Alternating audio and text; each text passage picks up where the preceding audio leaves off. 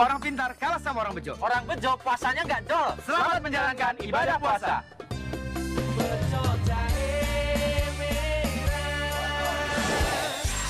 Ambiar anginnya, jagonya daya tahan tubuh.